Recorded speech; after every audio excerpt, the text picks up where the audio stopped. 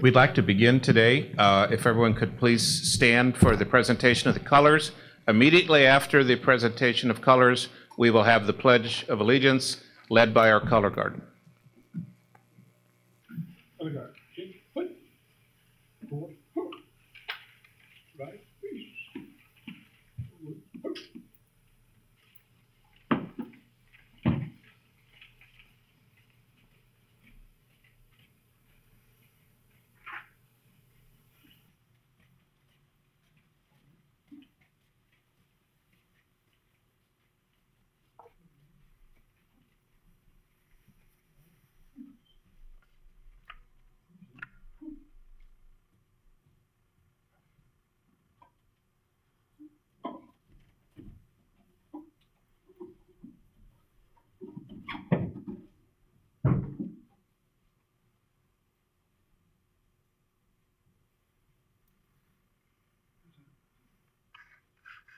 Pledge allegiance. to the flag of the United States of America and to the republic for which it stands, one nation, under God, indivisible, with liberty and justice for all.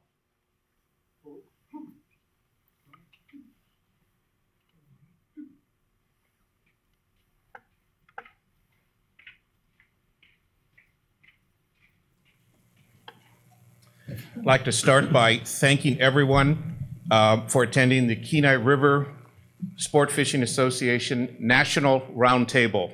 I'd particularly like to thank Senator Begich for hosting this event and for all the trouble you had to go through to get here. We appreciate it. Thank you. It's, it's classic Alaska, so don't, anytime you get to the airport, you anticipate something. So- Yes, indeed. And something happens, so sorry. I'd like to also thank all of our guests. I notice we have a lot of board members of the Kenai River Sport Fishing Association and the association's executive director, Ricky Gease. So thank you all for attending. The 2013 Magnuson-Stevens Act reauthorization is important to the entire fishing community. And I'm sure that all of the stakeholder groups, whether they're commercial fishermen, aquaculturists, environmentalists, habitat experts, they're all going to want to be heard from during the reauthorization. And through that process, there are going to be various vehicles and various means for each of those groups to be heard. What we're going to do today is talk about national recreational fishing issues. And I'll give you some background. When the Magnuson-Stevens Act first passed back in 1976, its focus was very simple and very clear.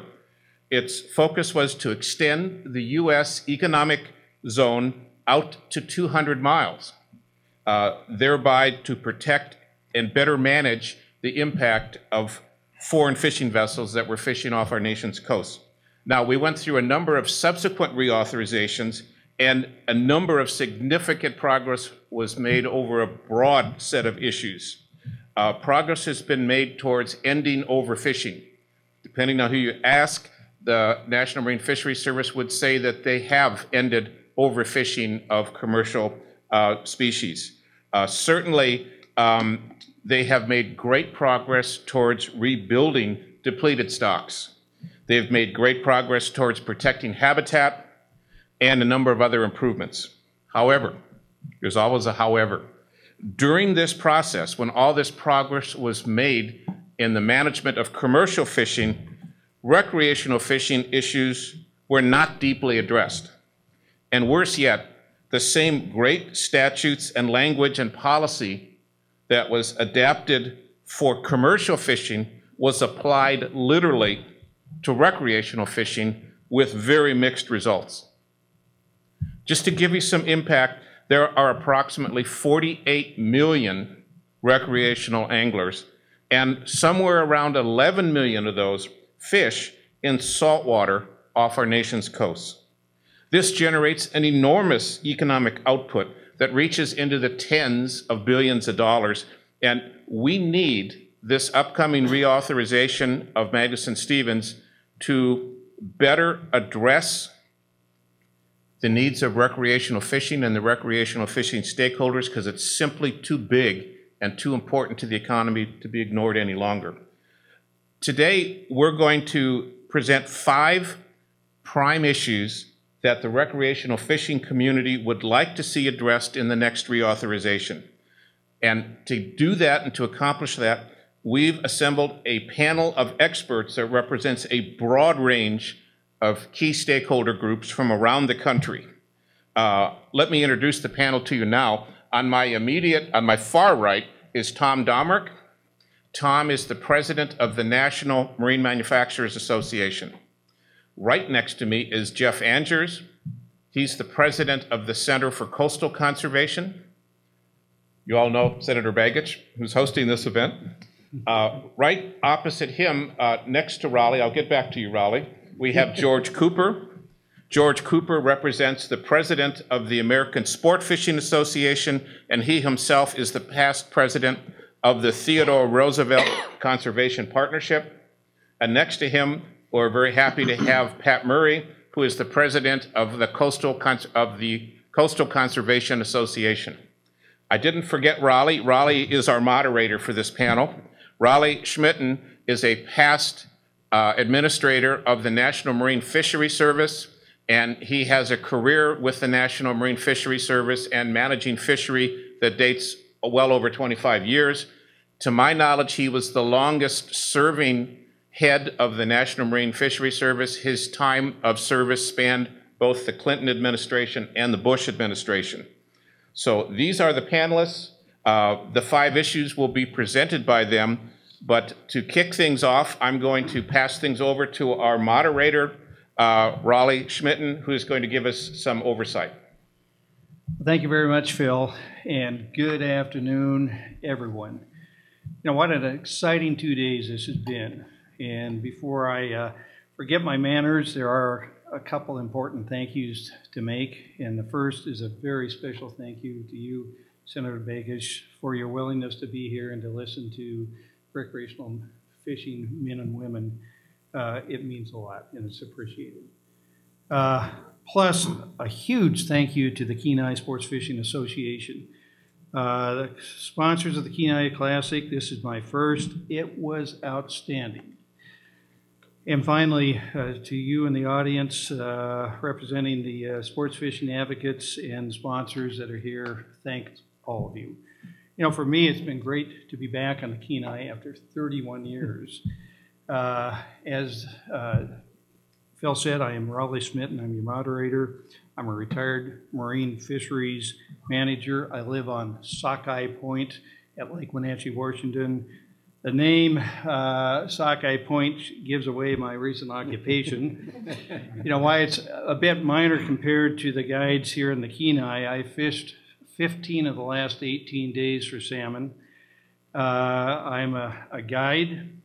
Uh, my, but my services are free, uh, but I'm very selective as to who I take. And I take kids that have never caught a salmon. I take uh, elderly that uh, remember catching fish but don't have the means to do that anymore. I take people that are in poor health that possibly or very likely are catching their last fish in their life. And then uh, throwing a little excitement, every Wednesday is Women's Day, and I take women out and we have a wonderful time. You know, I rarely fish when I'm guiding, uh, but I get a limit of happiness out of watching these people catch fish and the smiles on their face, and it gives me a chance to introduce our sport and conservation of fisheries. Now, my whole life has been around fisheries. Uh, oddly enough, my father and son were both commercial fishermen, uh, the son here in Alaska. Uh, so as a, their regulator, at times we had some very interesting dinner topics. I've had the pleasure and the, I guess the privilege of being the Washington State Director of Fisheries. Uh, I was the National Marine Fisheries Service West Coast Director for many years.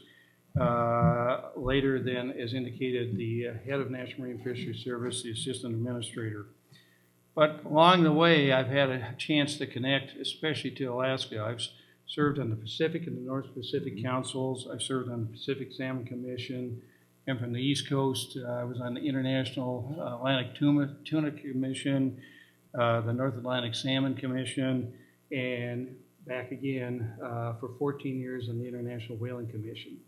And I spent all 14 years uh, working with the uh, Alaska Eskimo Whaling Commission out of Barrow. So, uh, retired after 38 years, both state and federal service, uh, was appointed to the Washington State Fish and Wildlife Commission, which I continue to serve as. Want to end with a, a few quick thoughts on what recreational fishermen stand for. And uh, Ricky Gease, uh, the executive director for KRSA, and I both serve on a, a small group that was formed by the Theodore Roosevelt Conservation Partnership.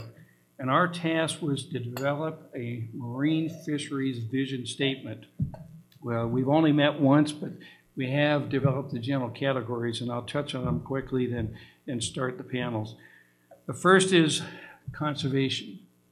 We believe that recreational anglers place conservation first in an effort to have healthy fisheries for both now and in the future. The second is environmental stewardship. Marine recreational anglers are strong environmental supporters. We're concerned about issues such as healthy fish habitat, water quality, red tide, ocean acidification, and overfishing. Number three is fishing opportunity. And yes, our community uh, likes to catch fish just the same as the commercial community, but not in just numbers of fish as defined as maximum sustainable yield, uh, annual catch limits, optimum yield figures or terms that are in the Magnuson-Stevens Act. We support the quality of the experience, making family part of fishing and the opportunities to catch uh, large fish and increasing numbers of fish. Fourth is legacy. Recreational fishermen want to leave a fishing experience for our children, our grandchildren, and future generations just the same as we are having it today here on the Kenai. The fifth and very important is economic stability and growth. You know, we understand and support the need to keep our industry viable, support the R&D needs for boats and motors and better conservation-oriented equipment. And finally, the last is political strength. We seek political strength to achieve our goals. There are some 40 million recreational fisheries. Of that, is indicated 11 million of those are marine anglers, and we seek to harness this strength uh, for the betterment of both fish and fishermen. But today we, we do have a tremendous panel to focus on issues of, of national significance to the recreational community, as well as the key issue of the reauthorization of the Magnuson-Stevens Fisheries Management and Conservation Act. So we'll start with our uh, first speaker. Uh, that's Tom Dammrich, who is the president of the National Marine Fisheries Manufacturing, Manufacturing Association, and he's going to hit the topic, the economic importance of recreational fishing and boating. Thank you, Rollie. And uh, thank you for the opportunity to be here today, and thank you, Senator Begich. Our forefathers understood the importance, the economic and social importance of recreational fishing and boating. Today, uh, when we talk to some policymakers, we're left with the, the view that outdoor recreation is what you do with leftover land, leftover time, and leftover money. And that could not be further from the truth. Uh, outdoor recreation is a major economic driver in our country. And the Outdoor Industry Association released a study earlier this year that NMMA participated in that estimated that outdoor recreation is responsible for $646 billion of direct spending annually. And boating and fishing represent 20% of those expenditures. So one out of every $5 spent on outdoor recreation in this country is for fishing and boating. And I believe on the screen you'll see some, some numbers related to that. Recreational boating drives $121 billion of economic activity in this country each year.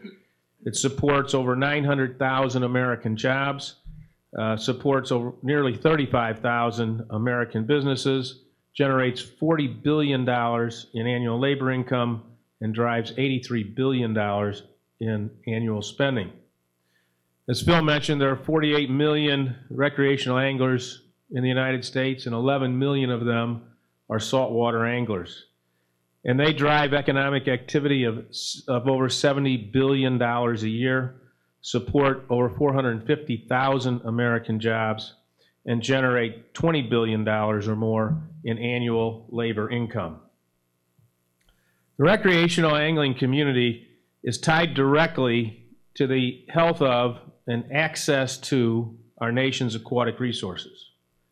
That's why, through fishing license sales, excise, excise taxes on fishing equipment, and motorboat fuel, recreational fishermen and boaters contribute about $1 billion annually to fisheries conservation and public access improvements, an amount that no other user group comes close to matching. In many ways, the general lack of understanding of the economic, social, and co- conservation contributions and values of recreational fishing has been a detriment to our community. And this is uh, particularly true when it comes to saltwater fishing. Policymakers and fishery managers have devoted the vast majority of their attention toward managing commercial fishing sustainability in large part because it's responsible for 98% of all fish harvest. Recreational fishing, on the other hand, has long been an afterthought in terms of research, data collection, and management focus. But according to the National Marine Fisheries' own data, those 2% of fish caught by recreational fishermen support a substantial economic engine that is on par with commercial fishing. We are a significant economic driver and provide significant economic and social benefits to this country. Thank you, Tom. Uh, The second issue is examining how mixed sector fisheries are allocated. Ask that Jeff An- Angers, who is the president of the uh, Center for Coastal Conservation, take the floor. Jeff? Thank you, Rollie, and, and thank you, Tom. Um, uh, Senator Begich, thank you for, for, for hosting this gathering and to, and, and to our friends uh, here on, on the Kenai River. This is, this has been a beautiful few days. Um, they've asked me to talk about what, what I believe is the most controversial issue um, in, in, in, in discussing fisheries, and it's the question of who gets the fish. Um, it's a question of allocating uh, the fish between between sectors. Um, the Magnuson-Stevens Act um, calls for allocations, and I believe the PowerPoint will show exactly what the statute says. That allocations should be fair and equitable, reasonably calculated to promote conservation, and carried out in such a manner that no particular individual, corporation, or entity acquires an excessive share of, of such a privilege. Um, we have uh, noted with accuracy that uh, many of those allocations have been set. Um, um, uh, the allocations of harvestable quota for each sector have been based off of determinations made decades ago. And uh, both the National Marine Fisheries Service and the regional fishery management councils all over the country are unable or unwilling to revisit those allocations. Um, the, the economic, uh, and, and by the way, I, I want to make clear as we, as we have our discussion, Senator, we've spoken of this before. If the, uh, if, if all of the fish, if fisheries in the other 49 states were managed uh, like they were managed here, we don't think we'd be having, uh, having all the problems that we've got in the other 49 states. Uh, so, so our comments today are, are focused on, on the lower 48. Um, the economic and social contributions of the recreational angling community uh, often far outweigh those of the commercial fishing industry, yet old mindsets are slow to change. And the challenge facing us um, is to have the current values and realities recognized, as Tom just mentioned, and hopefully have allocations shifted to re- reflect the greater economic benefit of robust recreational fisheries. It's a pretty easy concept. In mixed-use fisheries, where there's both a, a recreational and a commercial component, there is a lot more value in, in recreational opportunity to catch a fish than there may be in the same fish actually being harvested commercially. Uh, there are some simple and sound reasons for that. Um, many folks uh, uh, who I know spend a lot of time trying to hide from their spouses all of the money that they spend on their outdoor pursuits. The reality is that a recreational angler spends money on rods, reels, boats, trailers, tackle, motels, baits, restaurants, lots of other things, all based on the chance that if he goes fishing, he might catch one. And a commercial fisherman spends as little money as possible until he catches and sells a fish at a market driven price. That's the world in which we live. Um, struggling to shake its history as an agency dedicated solely to the promotion of the commercial fishing industry, NOAA Fisheries is often viewed with tremendous distrust by the recreational fishing community.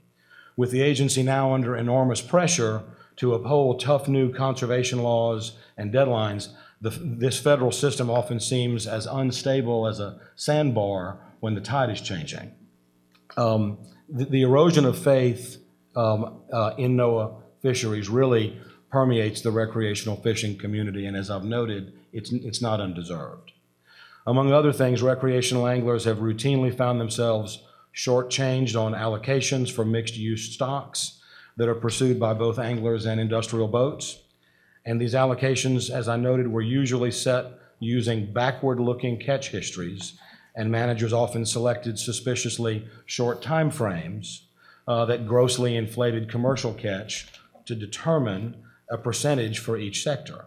And now the federal managers are notoriously unwilling to revisit any of the allocation uh, decisions despite literally cosmic changes in economics and demographics surrounding those fisheries. Uh, allocation in mixed use fisheries is a mess. And for all of the reasons that we've heard, it's too hot, it's too political. There's not enough time. We've always heard there's not enough time to, to rationally approach it. For every fishery examined in the peer reviewed literature on fishery allocation, economic value criteria indicate that allocation should shift toward the recreational sector. Yet there's currently no methodology for changing allocation and a deafening silence uh, from the agency. Um, this, this deadline, th- excuse me, this deadlock is due uh, to the status quo bias at the council um, and within the, and within the agency, which is driven by, by loss aversion and an uneven collective action playing field. The value gains from allocating more fish to the recreational sector are indeed uncertain due to the nature of the data and the estimation techniques that the agency uses. While we know for certain that losses to the commercial sector will be certain if, uh, when dealing with a rebuilt stock with, with, with hard catch limits. So the councils would rather make no change than one that improves overall value in fishery because they fear that the uncertain benefits will not outweigh the certain losses. It's the very essence of loss averting behavior. Uh, allocation is the critical component of fisheries management that remains ignored by, by managers.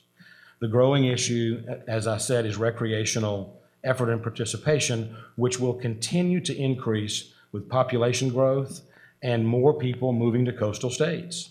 That growth makes a rational case for increased allocations to the recreational sector in some fisheries, as do the economic arguments that have been made in, in a number of these.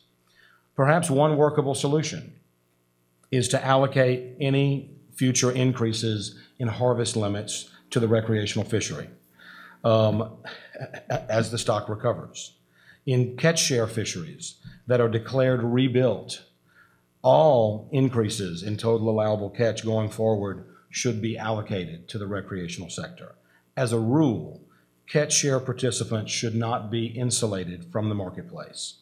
The ability of other participants and ideally states to conduct transactions in catch share systems to benefit their citizens must be explored in this next reauthorization.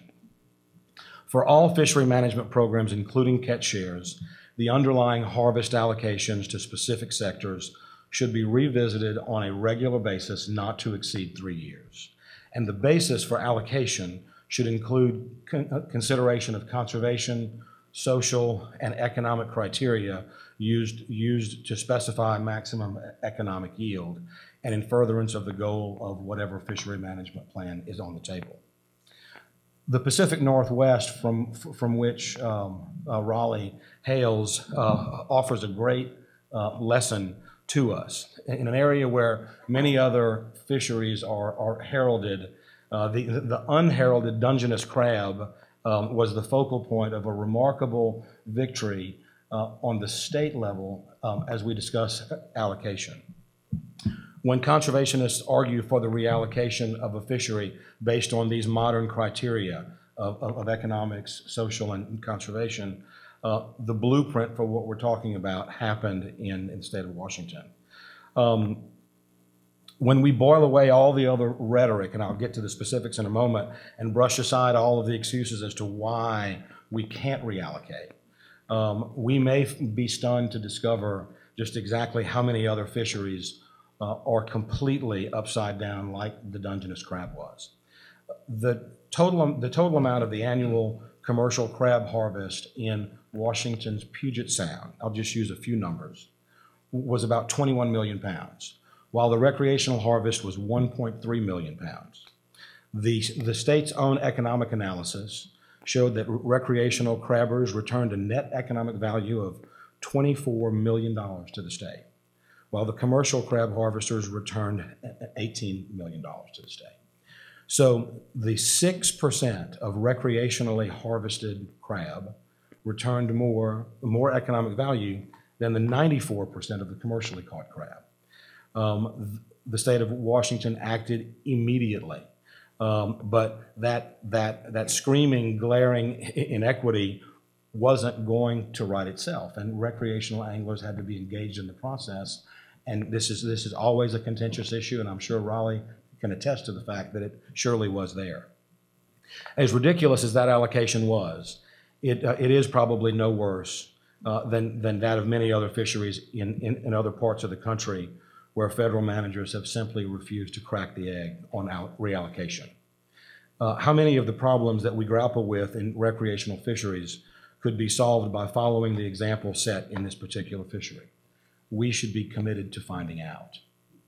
Um, in 2009, at the request of NOAA Fisheries, Texas A&M scientists published um, a, a, bioeconomic analysis of, of uh, the title of the paper, The Bioeconomic Analysis of the Red Snapper Rebuilding Plan and Transferable Rights Policies in the Gulf of Mexico. The focus was, was on the net present value of the, of the stream of all economic benefits from all sectors in the Gulf shrimp and reef fish fisheries. Um, the, uh, and that, that, that time frame was 2009 through 2032. The net present value of the directed commercial fishery uh, for red snapper in, in the Gulf was $0.27 billion. That's fourth place among the four sectors. Third place, the charter for hire sector, $0.83 billion. Second place, the shrimp fishery, $1.6 billion. But the private recreational fishing sector far outpaced the other three, $9.1 billion. So in the Gulf, in this fishery, the stream of economic benefits provided by anglers is threefold larger than all the other sectors combined. Gulf red snapper is hot. It is the 2013 poster child and hot potato in fisheries management all over the country. Uh, yet these types of economic numbers don't really see the light of day in, in, in, this important fishery that is, for all intents and purposes, the filet mignon of the, the Gulf of Mexico. Um, a fishery where 398 commercial harvesters are guaranteed 51% of the resource.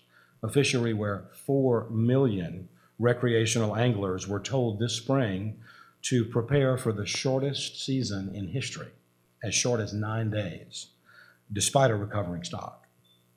Well, a federal judge ruled against NOAA Fisheries um, and set in motion an incredible roller coaster drama for everyone interested in this particular fishery that in the end has resulted in the same 398 commercial harvesters getting the same 51% of the, of the fishery and recreational anglers as an afterthought.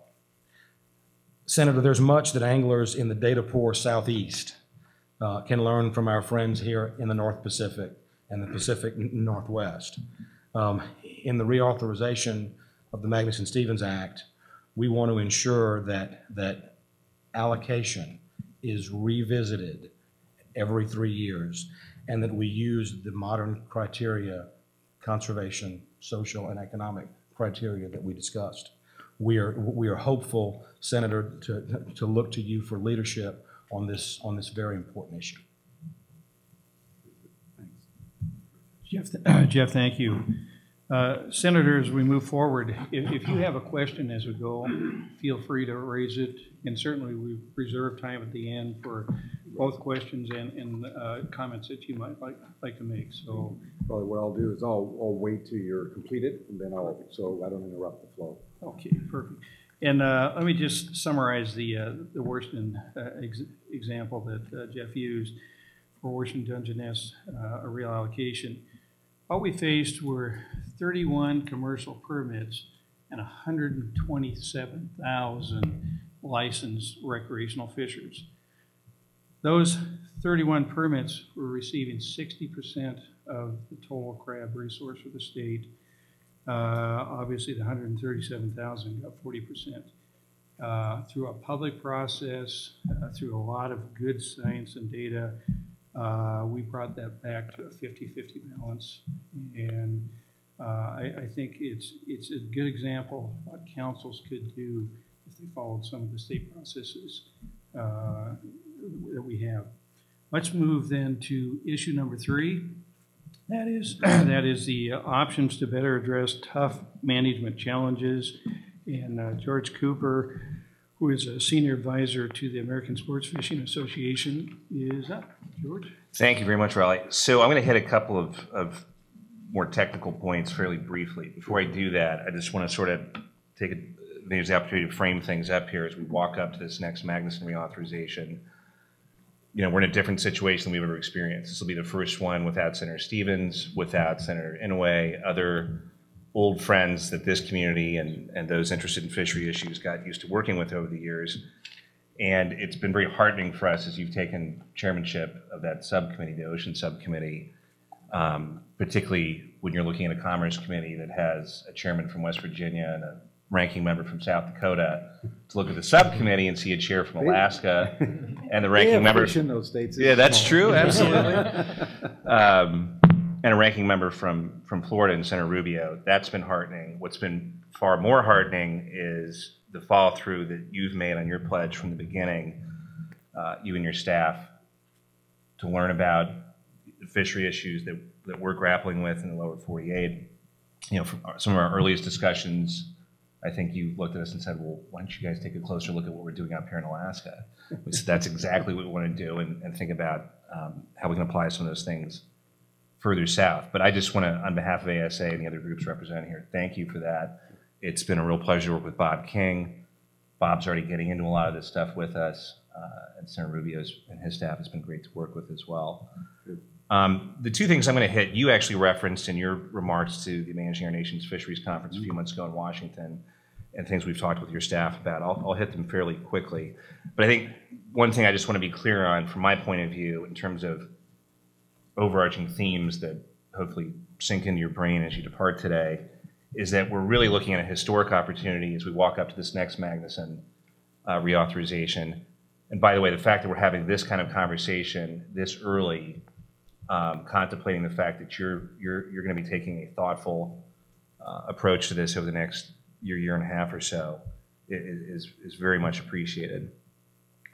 But what we're talking about is a moment in time that seems right for recognizing that the commercial management overlay that has been applied to recreational fishing doesn't make sense.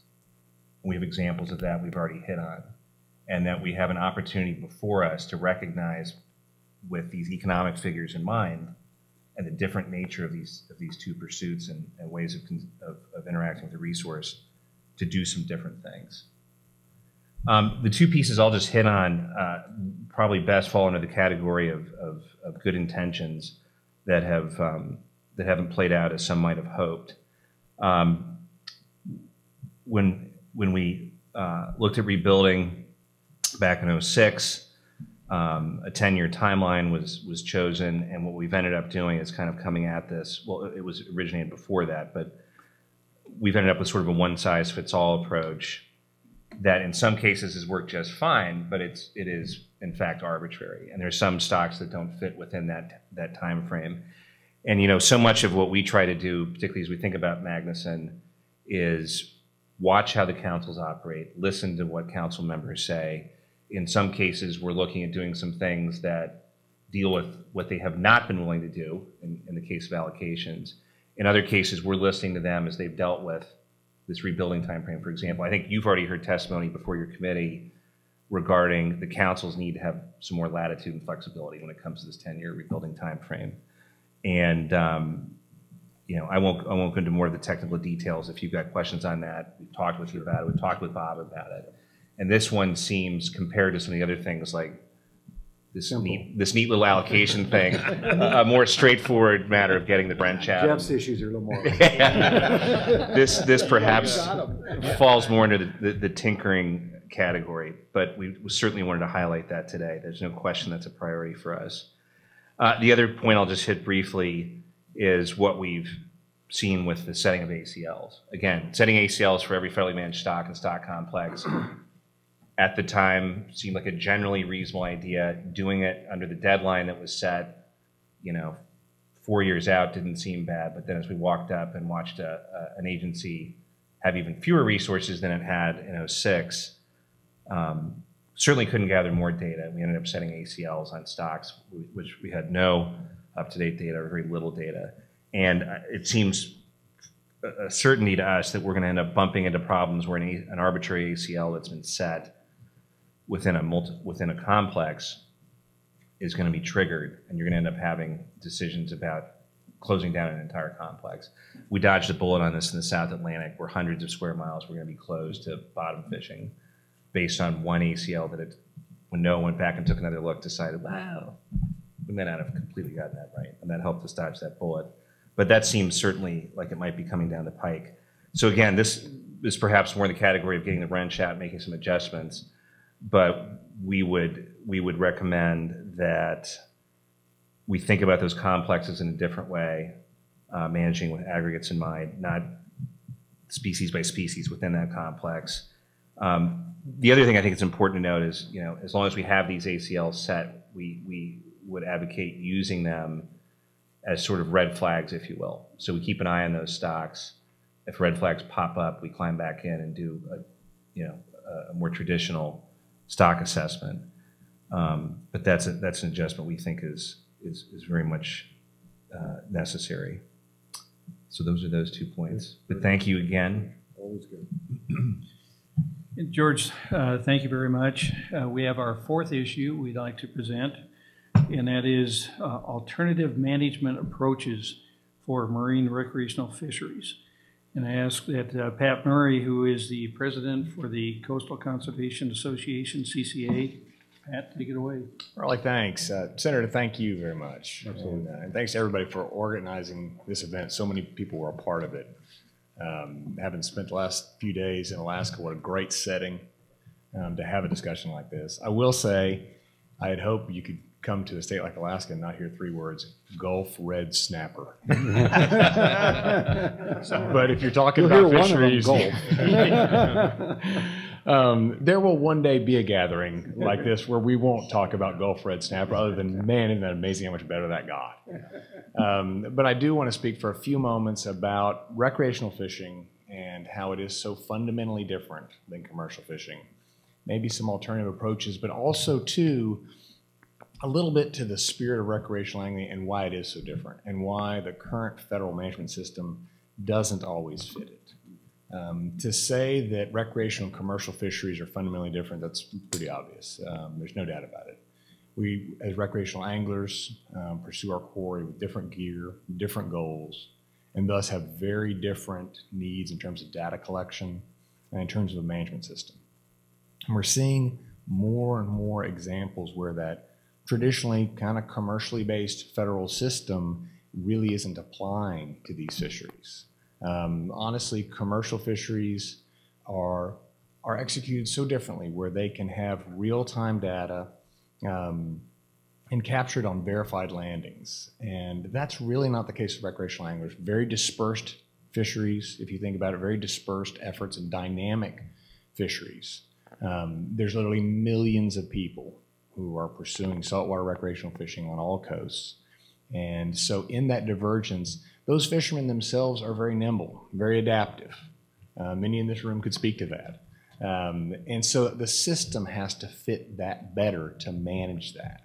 And think about there's an example that comes to mind um, in Jeff's hometown of Venice, Louisiana. Um, maybe some of you all have enjoyed a fishery like that. They're, they're in a lot of areas where you have this incredible diversity, where you could leave in the morning and be pursuing, well, say it, red snapper, um, and king mackerel in 100 to 300 feet of water, and a weather change has you switch around and you re-gear, and an hour later you're pursuing red drum and speckled trout in three feet of water in a marsh. That's recreational angling. It's really always changing. And so the system doesn't always fit it. Capturing real time and accurate data, it's, it's virtually impossible um, when you think about fisheries like that. And also, too, there's a significant lag time when you're trying to collect recreational data. Uh, we see so many times where a season gets closed and you have more and more disillusionment among recreational anglers um, you know, I, I, was I was talking to a couple folks before this. Is that I doubt there's many people right now in the Gulf that, of Mexico who would say I'm a red snapper fisherman. They may go red snapper fishing, but with a season that's measured in a handful of days, with the vagaries of weather and all those sorts of things, you might go for that fish, but you're not someone who pursues that fish like they might be a trout fisherman or a redfish fisherman. You just don't have that because it's just squished that sort of spirit out of the fishery. It doesn't exist anymore. So, what we're seeing is you can't count every fish in recreational fisheries. And to try to create a system that does is just asymmetrical at best. And so instead of trying to force that system, I think we need to look at alternative approaches. And I think the states show many of those. When you look at state based compacts like the Atlantic States Marine Fisheries Commission and how they've managed striped bass, or even some examples of states themselves managing their fisheries, be it red drum, um, speckled trout, um, snook, so many of these fisheries where you're looking more to harvest rate and you're looking at regular assessments where you're looking at the stock and you're not trying to count it the way we do with commercial fisheries. Um, we've seen that work, and I think there's more and more opportunity, particularly as we look at Magnuson, to integrate that in as an option, as a tool in the, in the, in the chest to work with. Um, you know, red snapper begs for it. It's one that, that we've tried uh, various things, I think, through this existing federal system, and they just continue to not work. Um, and even to take a step back and, um, and in trying to understand the recreational angler and what drives that $70 billion in economic output that Tom spoke to, and those hundreds of thousands of jobs, um, is, is really that, that spirit, that passion and with recreational anglers, it's really not a passion that's driven by market price and or fish fillets for that matter. Um, it's it's it's a passion to go. And it was interesting after the Macondo well incident in the Gulf. Um, I spoke to many many groups about the resilience of anglers. At that time, there were a lot of folks that just didn't want to go because of everything that was going on with that oil spill. And um, and it's interesting how much we see that same sort of disillusionment with a lot of our federal fisheries because that system seems that unappealing, seems that unapproachable. And uh, when I was speaking about that issue, I was reminded of, his, of a quote, and I think it applies right here. Um, a Scottish writer, um, John Buchan, who had this wonderful quote that I think captured recreational fishing. which is the, the charm of fishing is the pursuit of that which is elusive but obtainable. And here's the key part of it a perpetual series of occasions for hope. That's powerful. Occasions for hope. That's what drives that $70 billion, is an occasion for hope. And it's not an occasion to meet your quota or an occasion for market price. It's the hope. It's the desire to go fishing, the hope to catch a few, maybe take a few home, but that's what drives that. And what happens is these restrictive seasons that don't seem to fit reality and these asymmetrical management measures and systems and strategies disillusion that occasion for hope. And that is what kills recreational angling. And the more we can do to enhance recreational angling and enhance that spirit, I think the more we can do to build all the other great things that come with it, like stronger state and federal economies of growth from that.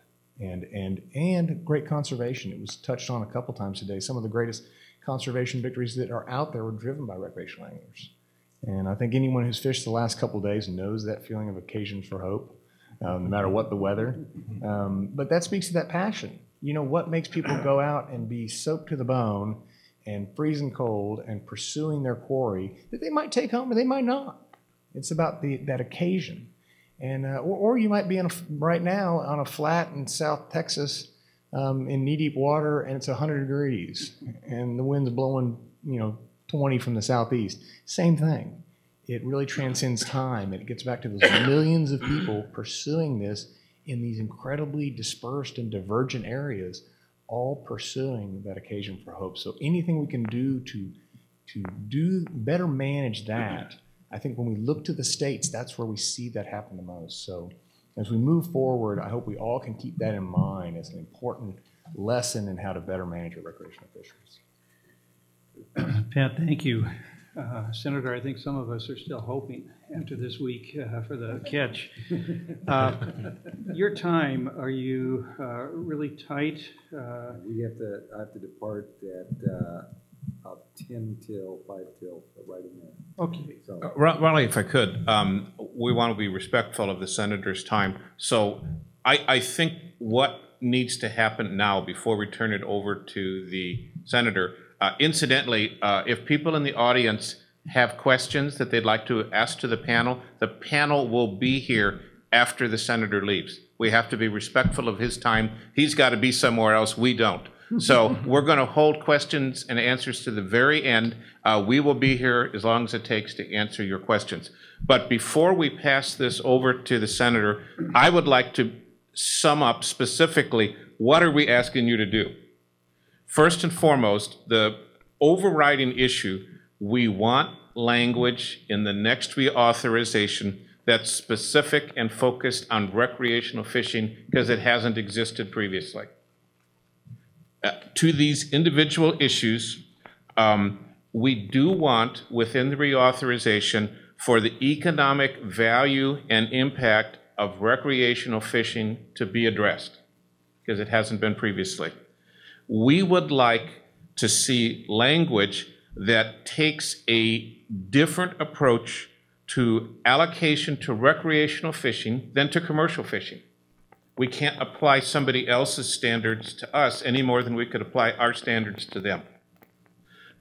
Lastly, I believe, and perhaps you do as well, that the regional councils are really bound and handcuffed by guidelines that were written to address commercial fishing. We need them to have guidelines and flexibility to address recreational issues separately and distinctly from commercial fishing.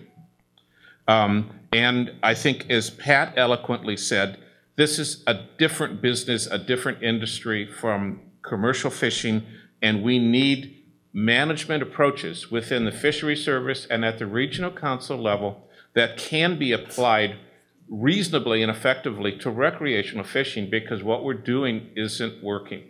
And as much as I love the National Marine Fishery Service, they are still focused exclusively on commercial fishing And I believe, and I think this panel believes, it all starts with the reauthorization of Magnuson Stevens by getting language in there that specifically addresses these unique challenges with the recreational fishing, and it has too much economic value, and there's too many participants to let this go any longer without addressing it. So that's, I think, in summation, what we want to say. Are we all in agreement? Did I say it correctly, or do you have more? Phil, I think you said it correctly. Uh, Let me embellish on a couple points. Having uh, spent 25 years in NMFS and being the head of NMFS, I think that it might really help uh, to ask them to develop a set of criteria for the reauthorization. Otherwise, we could end up in the reauthorization and need some sort of blueprint to work from. I think that would jumpstart uh, what's needed in that point. Uh, The second point is developing regulatory strategies for recreational fisheries that focus on fishing opportunities. And this is very similar to what Alaska does, what Washington does, by using harvest guidelines rather than the fixed quotas and numbers that we see. And uh, the fourth, and I, I believe it was, uh, perhaps George brought it up, and that is providing the council's additional flexibility in the 10-year rebuilding requirement. Uh, That doesn't always meet fisheries life cycles. And so you may have a very slow rebuilding fish driving this multi-complex of fisheries. So a little flexibility, and I know that the councils themselves will be asking you for that consideration. So that's just uh, augmenting exactly what Phil said. Senator, uh, it's your mic. And Thanks. you- uh, we would each be able to answer any questions that you have, or uh, we'd be really anxious to hear your comments on what we said. And it's okay to slap us if we said something that you think is not correct. Very good. Uh, Phil, thank you. Thanks to all of you setting this up. Thanks for uh, being patient while we, I got here by plane. And uh, second, thank you for allowing me, as you know, the way I operate, many of you who have already participated in some activities with me, I don't like to waste a lot of time, so that's why I ate lunch while listening, rather than having lunch, then coming. Um, Try to make things as efficient as possible, so I appreciate you uh, bearing with me there because that is my probably my only meal for the day. Uh, so let me uh, say a couple things. First, um, as you know, uh, the way we're approaching the reauthorization is, uh, and I think Georgie said it, is a very thoughtful, uh, deliberate process. We're not going to rush into it because there's some schedule. Uh, I think Congress has a bad habit of that and usually creating bad legislation in the process. They see some date they arbitrarily picked and then they rush to the den and they say, we're done. They move on and find out later there's major problems with what they've put together. Uh, we recognize reauthorization is technically uh, needs to be done before the end of the year, but that does not mean we have to have a bill before the end of the year. For those that have worked in Washington, understand that process. Senator, what's your best guess when there will be a bill? Yeah, I, Ready? th- well, there's two debates we're having in our, in our office right now. One is, as you know, we've, and, and for folks that are, you know, interested in this issue, this has been, uh, right after this, I'll do another roundtable hearing, listening session. We've done a series, uh, and hopefully those that have been around this issue for a fairly long time on the legislative end will recognize we're trying to do something where every user group is at the table. We've had one around commercial, we've had one around subsistence, uh, which interestingly, enough, subsistence will say the same thing, that they were kind of excluded, or limited, I should say, not excluded, but limited in, in the activity. And now, of course, recreation, and then there'll be continuing listening sessions. And then we'll have a series of sessions that will be more hearings in Washington that will focus on the regions, New England, Gulf, Alaska, uh, Northwest, and George, you might have saw the one we did recently, which was kind of an adjunct to New England. It wasn't totally supposed to be New England, but it really focused in on MSA reauthorization. The 10-year issue really popped up a couple times, and I've heard that. And, and, you know, the 10-year, I don't know the exact reason why that was picked, but knowing Congress, everything runs on Congressional Budget Office timetables, which are 10 years, which, you know, I won't go into my rant about Congressional Budget Office, but uh, I recognize um, just as fish know no borders, they have different timelines. My hope is that, and again, we're debating internally, do we put down a frame early? And I mentioned it at that conference, I think, three months ago, whenever. So we have a kind of a frame to work from. Or do we wait until as much information is in? And we're debating that right now, actually. In the next few weeks, we'll make that determination. I think at the end of the day, either track we take, the chances of having a bill by, you know, I would hope first quarter, second quarter of next year is kind of the target. Um, Only because when you get into the holiday season and the budget issues are lingering, it's very complex. Uh, Unless, you know, honestly, we, we, you know, I, I, think the, the phrase, the, the occasion of hope, I think you said, uh, I'm always about that in legislative process especially, and the Senate needs that more than ever. Um, and, you know, maybe something happens by our process that creates such a few issues to work on that we might be able to get a sizable amount put on the table before the holidays. But I, I don't, just because our schedule and the budget. So I'm, I'm hoping first, second quarter. Uh, Our sense of this is quite similar to yours. We would rather see all the information first, and we would rather see a ready, shoot, aim approach as opposed to a ready, um, shoot, aim. In other words, get the information, do a ready, aim, shoot, as opposed to ready, shoot, aim. I hear you. Um, and then the other thing I, I want to say, in this kind of response, um, you know, there's there's a lot of pieces of this puzzle. You gave me uh, uh, some thoughts here. You were so kind to hand me the uh, your blank paper. Then I told them I have a technique here. Uh, these are items I got to take back. These are items related to the issue. I write them on the stuff I'm working on. And but but one that in, intrigued me, and, it, and you didn't say it, but I thought about it, and that is one of the challenges we will have. Let's assume for a moment we have a bill done.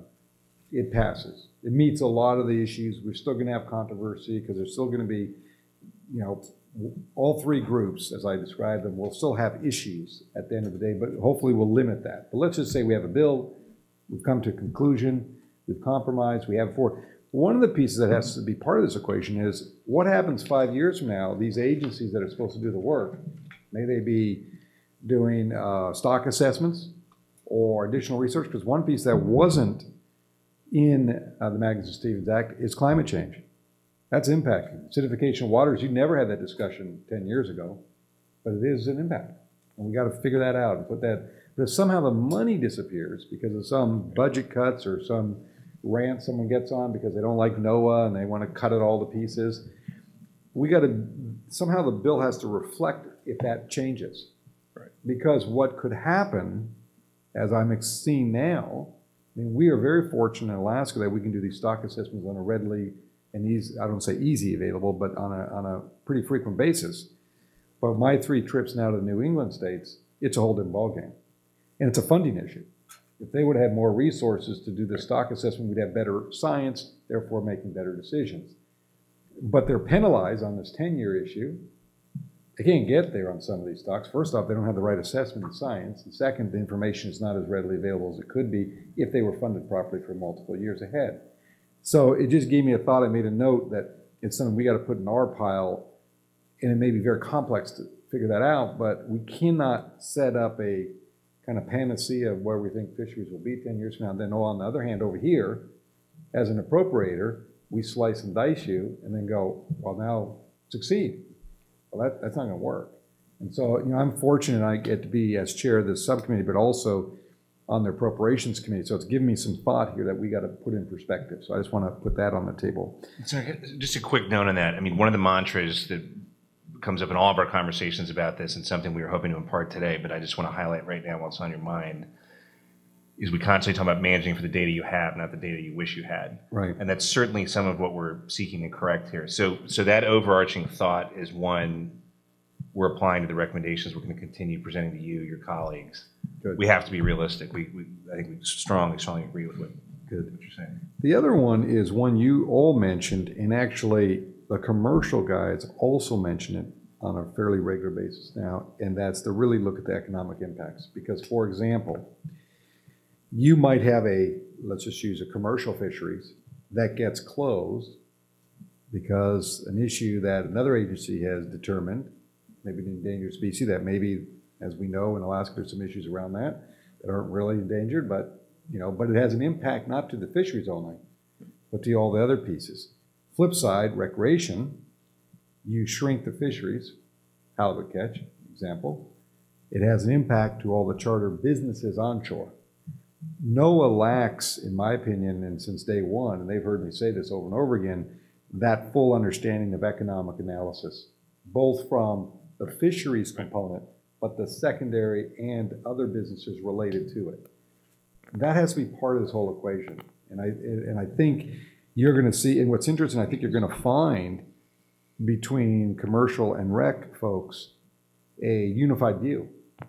Because I can tell you in New England, they're very outraged by the lack of that understanding. Right. And they're trying to figure out how do they get that into the mix. And when you were at, I don't know if you were at that one where, uh, I forget the gentleman from New England brought this issue up, and it was a very interesting comment.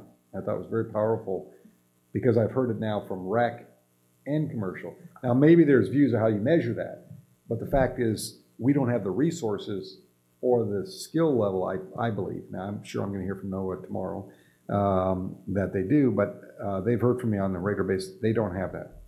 And we need to have that in this. Couldn't mix. agree with you more. It, after working with um, NMFS as an advisor for three years, it's pretty easy to see what their comfort level is and where their expertise is and where it isn't. Right. And I always say, who sits next to me? It's the, um, it's the subsistence fishing people, it's the aquaculture guys, it's all of these people that are on the outside looking in because NMFS doesn't have the, the capability of acting in those areas. Right. And I think the biggest economic impact, we have to recognize, and where this is killing us as a, as a country, the, the percentage of seafood that we import. Right. What is it, ninety percent? Well, and, and the sad part is, uh, not only imported, as you know, I have legislation pending now on what I call pirate fishing, people who Yes. steal our fish. Yes. Uh, and then, or like we're dealing with Russia right now, uh, with our crab, when they call it Alaska crab, when it's clearly not. Uh, and several others where it's impacting us on a, a huge economic level. I mean, huge. And uh, then it also trickles down into all the other areas, subsistence, recreational, and others. And so we, we uh, the- my hope is when we look at Magnuson Stevens, it's kind of a broader, and I think that's where you all are talking about, because at the end of the day, um, we know, and my view is, you know, maybe I could be very biased here and say, hey, Alaska's doing it right, rest of the country, fend for yourselves. But the reality is, that's not responsible. And as chair of this committee, it's not only to make what we're doing in Alaska be even better, but figure out how to take some of these models and pieces uh, and see if there's ways to use these examples, which of course more localized by the region, to figure out how to improve their commercial rec and if they have subsistence type of fishing. Most don't, of course, have subsistence. but- My key point is if we screw this up, there are negative Oh. economic impacts that are enormous. If you ask the catfish farmers today,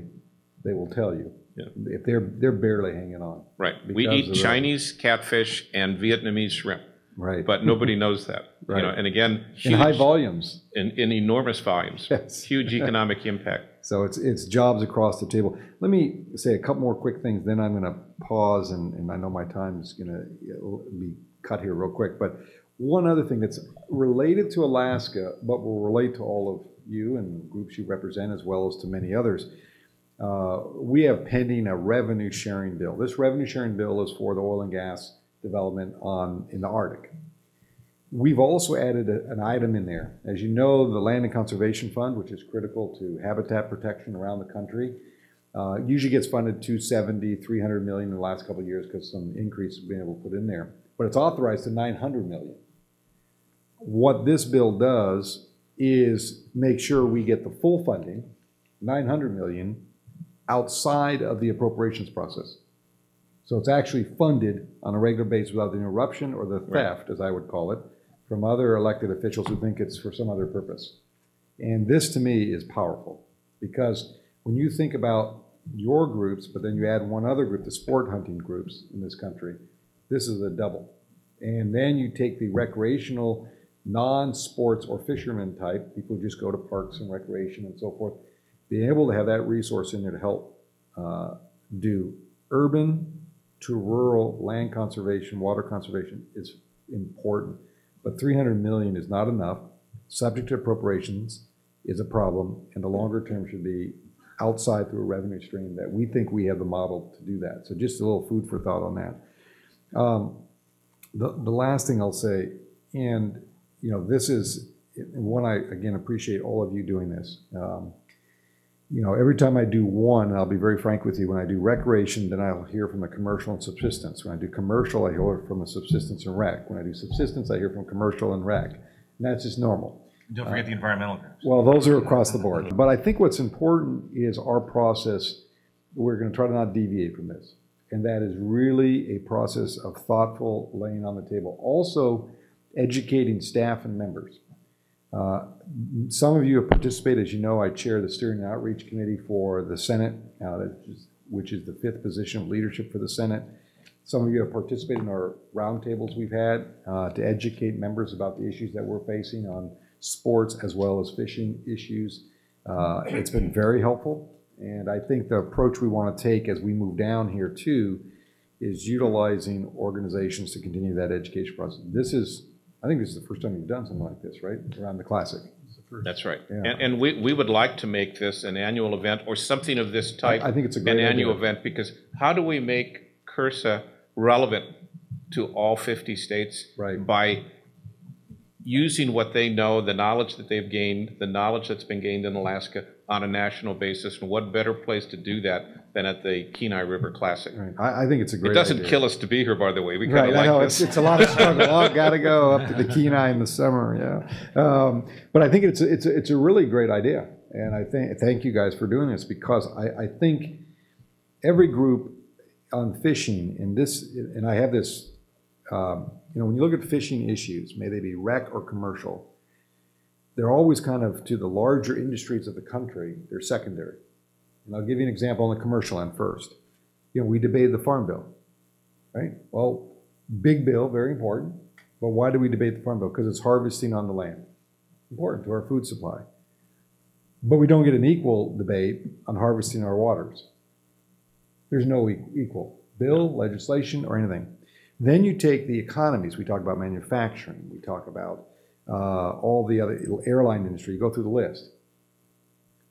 Recreational activities, fishing included in that, are kind of secondary. Even though your numbers uh, our tourism business would not be able to do what they're doing without all the recreational components. That means national parks, that means fisheries, habitat, all of this combined. And in this country, the industry that came back, one of the fastest industries that came back after this recovery was our recreational industry, our tourism industry. And who does that feed? We're sitting in this room. But it wasn't really counted in when you look at the GDP and all those big numbers we talk about, this is kind of like over there. So part of my goal is not only to talk about commercial and the fishing and the food supply that it provides to this country and what it should provide to this country, but also the recreational piece, how important that is in the long term to our economy. And then the third, which is more Alaska-centric, uh, is subsistence. Uh, I think when you think of your 2%, they're at 1%.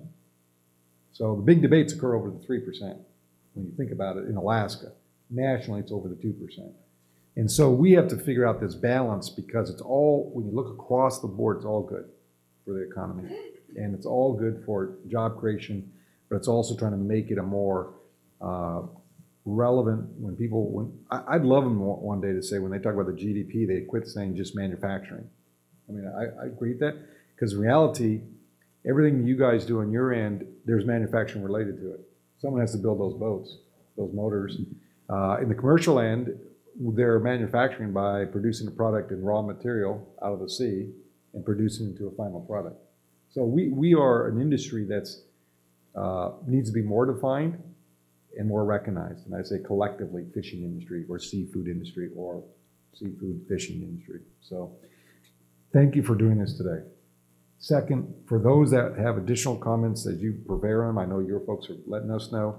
If there's something that comes out of this group afterwards, you should feel free to share that with us and the committee. As chair of the Oceans Committee, do the Fisheries, NOAA, and Coast Guard. This is an important role we'll have.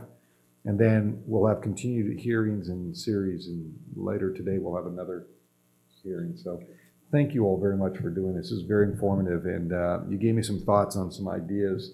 But I also see more common thread, and I know in the past, and Jeff, you said it best, um, these can be contentious issues. Fish are like, you know, I remember I was on the assembly and I had some ordinance messing around with cats.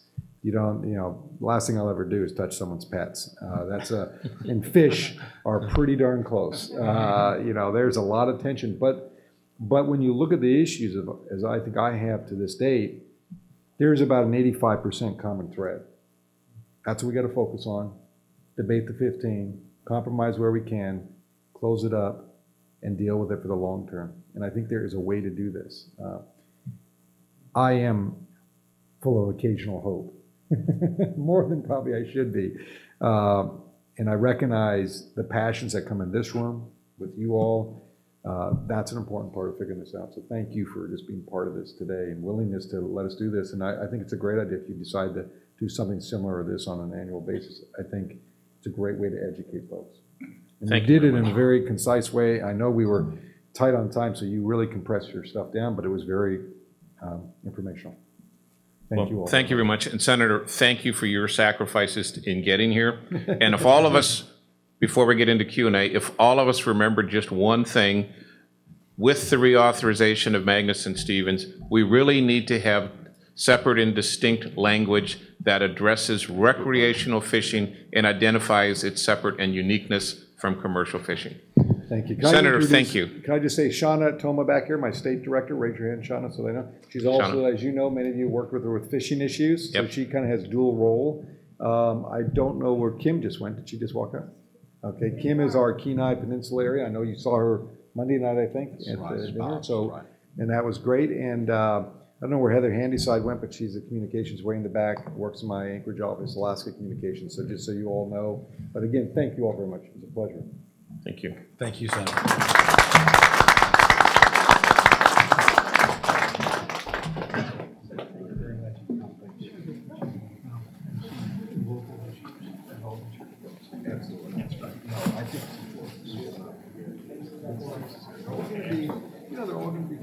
Senator, thank you. Thank you. It. We'll get together another day. Okay. Get involved all of us. Something we want to do. Thanks. Thank you very much. Thank you. I don't know how you got the short uh, straw. Did you get, they said, give him the contribution. Thanks for being a sport. No, no, no.